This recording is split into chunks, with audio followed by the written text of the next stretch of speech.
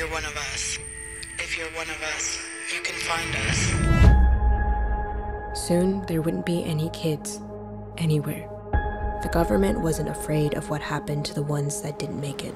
They were afraid of us because the ones that survived changed. Ruby, you are very rare. Among the most powerful. We know The only people who would ever help us were us. Whatever happens, don't stop! For their safety and yours, please turn over your children. I'm smart enough to know you're hiding something.